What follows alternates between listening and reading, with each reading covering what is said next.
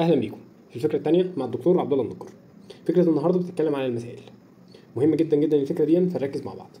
هنحل كذا مسألة نفس الفكرة. هو بيقول لي ما حجم غاز ال NO2 الناتج من تفاعل 20 مللي من ال NO مع وفرة من الأكسجين في نفس الظروف والضغط ودرجه الحرارة. معنى إن هو في نفس الظروف والضغط ودرجه الحرارة معنى كده إن هو في درجة الحرارة القياسية أو الظروف القياسية. والظروف القياسية الحجم بتاعها بيبقى كام؟ بيبقى 22 و4 من عشرة. الرقم ده محفوظ. طيب. هو عايز حجم ال NO2 لما تفاعل ال NO لما ال NO اتفاعل مع الأكسجين اداني NO2 هو بقى النهارده بيسألني على مين؟ بيسألني على ده. هو بيقول لي ده كم حجمه؟ حلو. لما لما 20 مللي اتفاعلوا مع دول. قبل ما نروح نعمل أي حاجة لازم نوزن المعادلة. حلو. كام يا سيدي؟ قال لك 20 مللي. لما 20 مللي اتفاعلوا هيدينا كام؟ حلو جدا. عند نفس ظروف الضغط ودرجه الحرارة. معنى كده إن ظروف الضغط والحرارة كانت كام؟ كانت 4 22 و4 من 10 والناحية الثانية كانت 22 و4 من 10 طيب ال 22 و4 من 10 جم منين يا دكتور؟ لأن هو قال لي في نفس الظروف والضغط ودرجه الحرارة. معنى كده إن إحنا عندنا ظروف قياسية. معنى كده إن هو إيه؟ الحجم بيبقى ثابت اللي هو 22 و4 من 10 طرفين في وسطين تطلع الإجابة 20 حلو؟ آدي أول مسألة. تمام؟ فالإجابة هتبقى سي.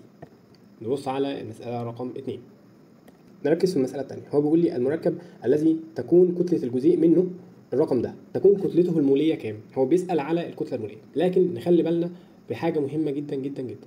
إن إحنا عندنا حاجة اسمها المول.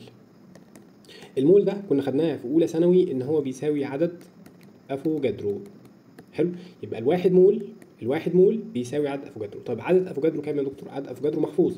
2 6.02 في 10 اس 23 حلو؟ طيب تعال بقى نتكلم على المسألة. هو بيقول لي الواحد جزيء الواحد جزيء طلع لي الرقم ده اللي هو ال 2 9 3 في 10 اس سالب 22 يبقى الكام مول هيطلع كام مول؟ بمعنى الواحد مول المفروض يطلع كام؟ بس أنا أصلا ما عنديش واحد مول لكن عارف إن الواحد مول بيساوي مين؟ بيساوي عدد افوجادرو معنى كده إن إحنا ممكن نمسح دي كده نمسحها أهي نمسح دي كده ونكتب إيه؟ ونكتب عدد افوجادرو اللي هو كان كام؟ 6.02 في 10 أس 23 طرفين في وسطين يطلع الناتج دوت اللي هو هيطلع كام؟ هيطلع آه بيساوي 176.4 اللي هي الإجابة دي. حلو جدا؟ آدي أول دي تاني مسألة. طيب المسألة رقم 3 كلهم نفس الفكرة إحنا ما بنلعبش كتير. هو بيقول لي إذا تفاعل 32 جرام من المغنيسيوم تمام مع حمض الهيدروكلوريك. أوجد حجم غاز الهيدروجين المتصاعد علما بأن إن المغنيسيوم الكتلة الذرية بتاعته أو الكتلة المولية 24 ناخد بالنا قوي هو بيقول لي إن إحنا عندنا مغنيسيوم.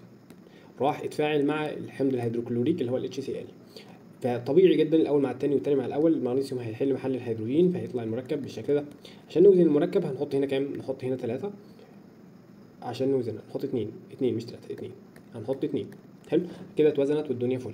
هو بيسألني بيقول لي كام الهيدروجين؟ هو عايز الهيدروجين مع المغنيسيوم. يبقى كام جرام من الهيدروجين؟ كام جرام؟ بيدينا 32 جرام من المغنيسيوم. هو إذا تفاعل 32 جرام. السؤال بقى الأهم. هو الكتلة المولية للمغنيسيوم كام؟ روح نزلها لي تحت. الكتلة المولية 24 حلو جدا؟ طب يا دكتور أنا مش عارف هنا إيه. هو بيقول لي أوجد الحجم. معنى إن هو قال لي الحجم. وطبعا حجم الهيدروجين دايما في الغالب بيبقى ثابت. فالمركب هيبقى كام؟ 22 و4 من 10 لأن الهيدروجين هو في ظروف دايما قياسية. حلو جدا. طرفين في وسطين يطلع الإجابة الإجابة 29.87 السؤال بقى الأهم الأعظم في القصة دي هو أنا هختار ألف ولا جيم؟ ما هو الاتنين نفس الإجابة. في الغالب في الغالب أنت أول ما طلعت دي على الآلة الحاسبة هتروح تبص على ألف ويا جماعة أنا طلعتها صح لكن أنت خدت صفر. ليه يا حبيبي؟ لأن الحجم بالملي الحجم بالملي. فالإجابة الصح هي جيم مش ألف. تمام؟ حلو. المسألة رقم أربعة أو الفكرة يعني المسألة رقم أربعة بس السؤال رقم سبعة في قلب ال sheet. احسب كتلة أكسيد الكالسيوم الناتج من انحلال 10 جرام من كربونات الكالسيوم. هو قال لي انحلال.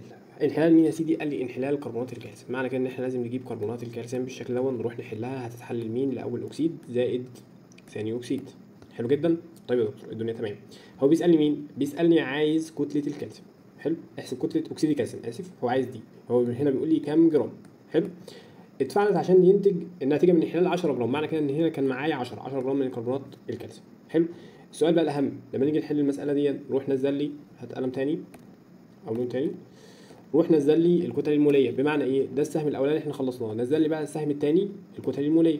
لما نيجي نحسب الكتلة المولية لكربونات الكالسيوم طبعا هو مديها لي 40 و12 و6 في 16 في 3 هتطلع 100 حلو. الناحية الثانية أكسيد الكالسيوم 40 زائد 16 تطلع 56 طرفين في وسطين يطلع الناتج ده.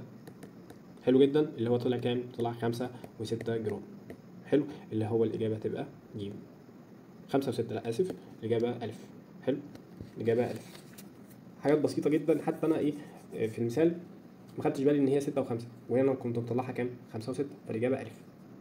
ناخد بالنا قوي من حاجات زي كده.